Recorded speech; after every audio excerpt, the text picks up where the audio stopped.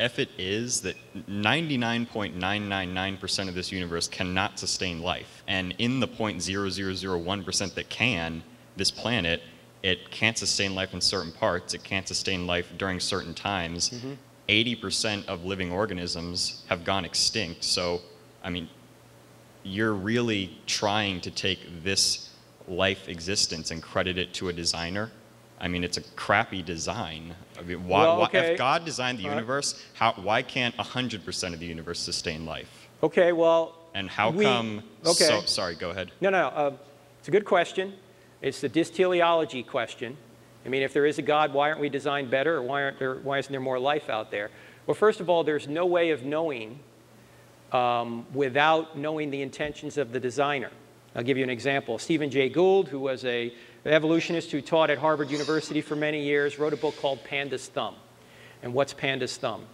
Well, he was saying that the panda had a very bony protrusion that came out of its hand. It wasn't an opposable thumb like we have. And he thought that this was not an adequate design for a panda. Well, there's no way you can know whether it's an adequate design or not unless you know the intentions of a designer, right? Uh, you'd have to know what the intentions were to say whether or not the thumb it had was good enough. Well, it turns out that thumb allowed the panda to strip bamboo and eat.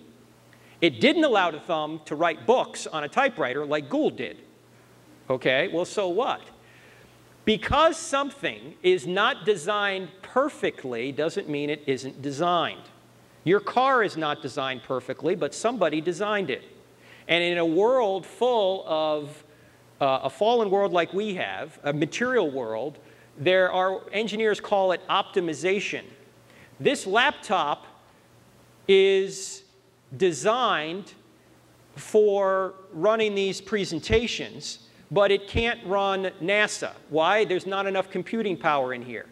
So you wouldn't say that this laptop it has crappy design because it can't run a NASA, the whole NASA program. But you might say it has good design for being carted around the country and running PowerPoint presentations. What is the intention of the design? You can't say something has bad design unless you know the intention of a design. You can't say a car is not designed properly because it doesn't carry 15 passengers if it wasn't designed to carry 15 passengers. It was a, a Volkswagen Beetle is intended to carry a half a person, right? okay, it's not designed to carry 15. You can't fault it. You have to know the intentions before you can say something's not designed properly.